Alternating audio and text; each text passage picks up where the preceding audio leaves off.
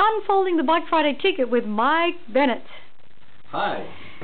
To unfold your Bike Friday Tikit, simply release the seat mast from its plastic keeper. If you'll place the seat parallel with your right leg, it makes it much simpler. At this point, you should bring your bars up and into position.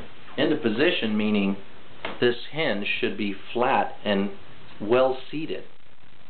When we lift the bike into position, the aluminum clasp is going to pull in and tension around this, giving a good firm hold.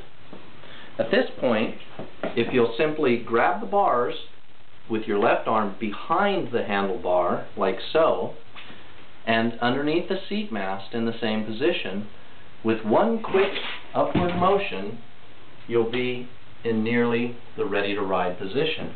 However, at this point, it's very important that you pay close attention to relax the rear triangle. Not doing so could result in damage to your Tikit. Simply tilt the saddle forward will allow the rear triangle to drop and relax into position.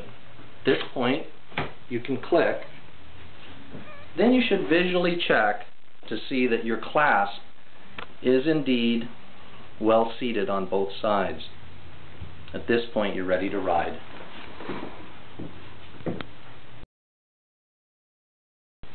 With a little practice, you'll be unfolding your Tikit in no time. Release the seat mast, parallel with leg, bars up and level, one quick motion, relaxing, off and riding.